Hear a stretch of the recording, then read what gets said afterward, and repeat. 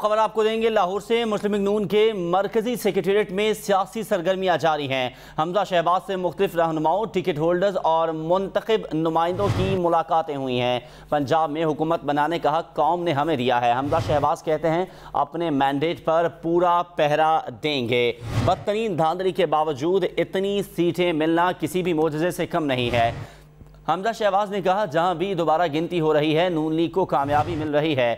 Election commission اور ذمہ دار ادارے پی ٹی آئی کے لیے کٹ پتلی بنے ہوئے ہیں۔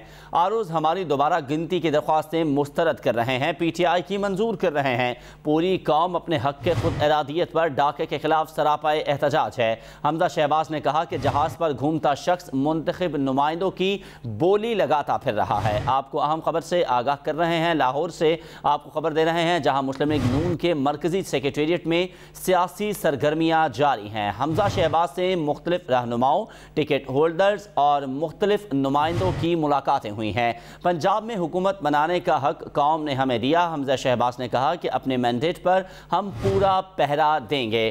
انہوں نے مزید کہا کہ بدترین دھاندلی کے باوجود مسلم نون کو اتنی سیٹیں مل جانا کسی معجزے سے کم نہیں ہے۔ جہاں بھی دوبارہ گنتی ہو رہی ہے، نون لیگ کو کامیابی مل رہی ہے۔ حمزہ شہباز نے کہا کہ الیکشن کمیشن اور ذمہ دار ادارے پی ٹی آئی کے لیے کٹ پتلی بنے ہوئے ہیں۔ آروز ہماری دوبارہ گنتی کی درخواستیں مسترد، جبکہ پاکستان تحریک انصاف کی منظور کر رہے ہیں۔ پوری قوم اپنے حق کے خود ارادیت پر ڈاکے کے خلاف سراپائے احتجاج ہیں۔ حمزہ شہباز نے کہا کہ جہاز پر گھومتا ہوا شخص منتخب نمائندوں کی بولی لگاتا پھر رہا ہے۔